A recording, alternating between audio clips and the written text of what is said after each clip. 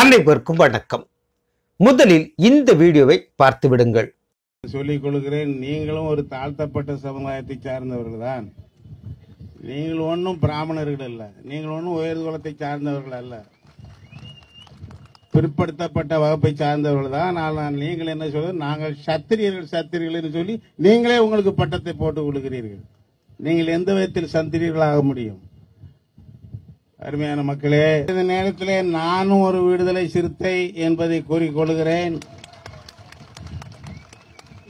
இந்த கிழட்டு சிறுத்தை சீர ஆரம்பித்தால் நாடு தாங்காது என்பதையும் கூறிக்கொள்ள விரும்புகிறேன் சொல்கிறேன். நீங்க இன்னும் மர வெட்டிகளா இருந்து மரத்தை வெட்டி தள்ளி அதன் மூலமாக பெரிய பாறாங்கல்களை எல்லாம் உருட்டி வைத்து மக்களுக்கு எத்தனையோ இடையூறு இடையூறு உண்டாக்கினீர்கள் நீ எண்ணத்துல பெரிய ஐயா? நீ எண்ணத்துல சின்ன ஐயா? நீங்க சின்ன புத்திக்காரர் என்பதை நான் சொல்லிக்கொள்வேன் விடுதலை சிறுத்தைகள் கட்சி நடத்திய கூட்டத்தில் திமுகவின் ஆதரவாளரும் கிறிஸ்தவ பேராயருமான எஸ்ரா சர்க்குணம் தன்னை ஒரு மதத்தின் பிரதிநிதி என்பதை தாண்டி ஒரு நான்காம் தர அரசியல் பேச்சாளரைப் போல வன்னியர் சமுதாயம் குறித்து இழிவாக பேசியிருக்கிறார். அதனை கடுமையாக கண்டித்து வன்னியர்களை இழிவுபடுத்தி பேசுவதா? எஸ்ரா சர்க்குணம் மன்னிப்பு கோர வேண்டும் என்ற தலைப்பில் பாமக நிறுவனர் மருத்துவர் ராமதாஸ் அறிக்கை ஒன்றினை வெளியிட்டுள்ளார். அது அப்படியே உங்களுக்காக.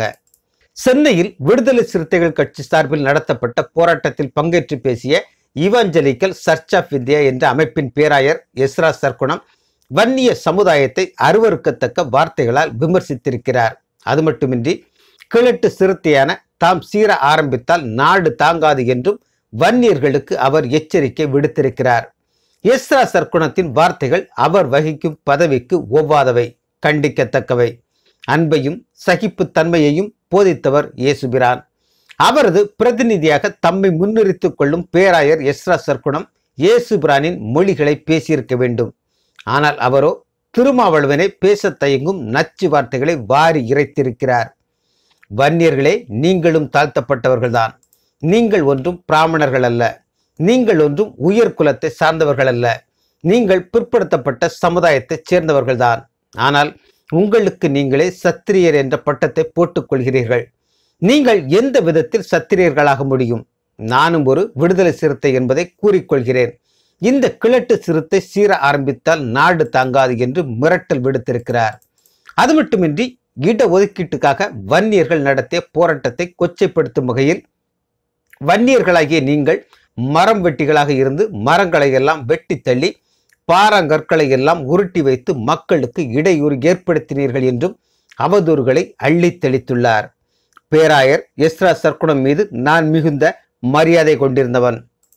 பாட்டாளி மக்கள் கட்சி சார்பில் நடத்தப்படும் சமத்துவ கிறிஸ்துமஸ் விழாக்களில் அவரை அழைத்து சிறப்பு செய்வதை வழக்கமாக கொண்டிருந்தவன்.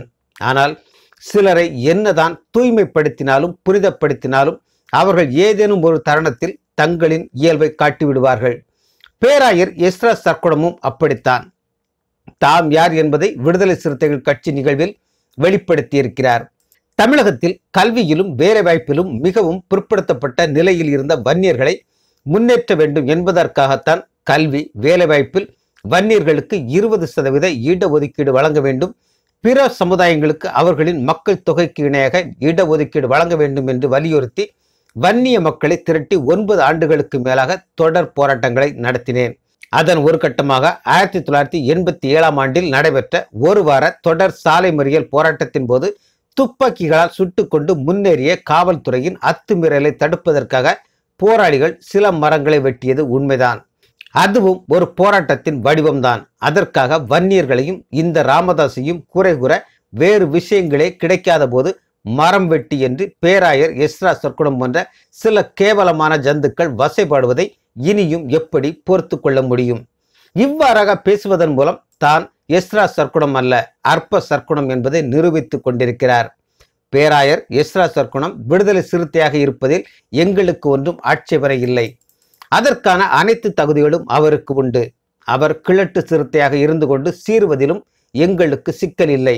ஆனால் சீர வேண்டிய இடத்தில்தான் சீர வேண்டும். அதை விடுத்து இளஞ்சிங்க கூட்டத்திடம் கிழட்டு சிறுத்தை சீறினால் சிங்க கூட்டம் மறக்க முடியாத பாடத்தை புகட்டும் என்பதை பேராயர் எஸ்ரா சர்க்குடம் நினைவில் கொள்ள வேண்டும். இவாஞ்சலிக்கல் சர்ச் ஆஃப் இந்தியா என்பது பெருமை மிக்க அமைப்பு ஆகும்.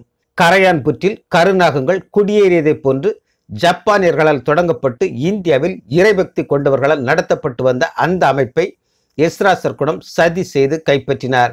இயேசுவின் பெருமைகளை பரப்புவதற்கு பதிலாக அந்த இயக்கத்தையே திமுகவிடம் அடகு வைத்து அதற்கான விலையாக மாநில சிறுபான்மை ஆணையத்தின் தலைவர் பதவி போன்ற சில்லறைகளை வாங்கிக் கொள்பவர்.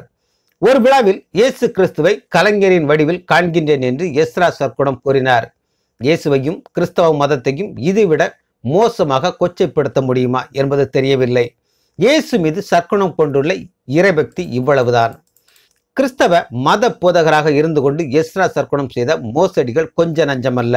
மத போதகர் என்ற பெயரை பயன்படுத்தி கொண்டு இரண்டாயிரமாவது ஆண்டில் குஜராத் மாநிலம் சிந்தியா கிராமத்தில் இந்து கோவிலுக்குள் புகுந்து சீலைகளை அகற்றிவிட்டு கிறிஸ்தவ தேவாலயமாக மாற்ற முயன்றவர்தான் இவர். அப்போது குஜராத் அரசு இவரை கைது செய்ய முயன்றபோது அங்கிருந்து வந்து கலைஞரின் காலில் விழுந்து தப்பியவர்தான் இவர். சேலம் அருகே நரிக்குறவர்களை ஏமாற்றி கட்டாய மதமாற்றம் செய்ய முயன்ற விஷயத்தில் கடுமையான கண்டனத்திற்கு ஆளானவர்தான் இவர். இவருடைய சிறுமைகள் பட்டியல் மிக நீண்டது. இவரது சிறுமைகளை பாராட்டி கருப்பு ஆடு கள்ள தீர்க்கதரிசி என்றெல்லாம் நண்பர் வைகோ பட்டங்களை கொடுத்திருப்பதே இதற்கு சான்று. எஸ்ரா சர்க்குணம் படத்திற்காக எதையும் செய்யக்கூடியவர்.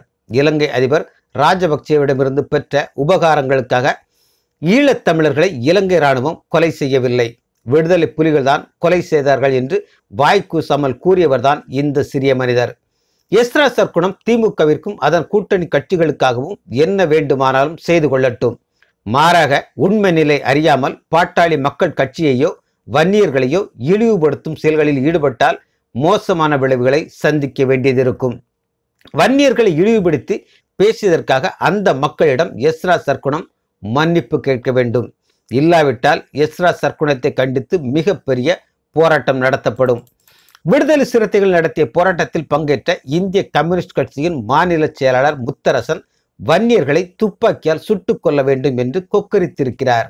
உழைக்கும் பாட்டாளிகளாகிய அவர்கள் அப்படி என்ன தவறை செய்து விட்டார்கள் என்பது தெரியவில்லை. அந்த போராட்டத்தில் பங்கேற்ற மற்ற தலைவர்களும் வன்னியர்களுக்கு எதிராக வன்மத்தை கொட்டியிருக்கிறார்கள்.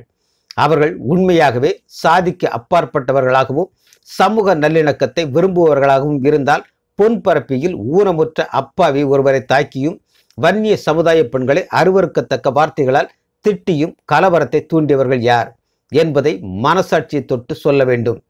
அதை விடுத்து வன்னிய மக்கள் மீது மட்டும் ஒரு சார்பாக அவதூறு பரப்பிக் கொண்டிருந்தால் வன்னியர் எதிர்ப்பு என்ற சாக்கடையில் அரசியல் லாபம் என்ற அரிசி பொறுக்குபவர்களாகவே அவர்களை சமுதாயம் பார்க்கும்.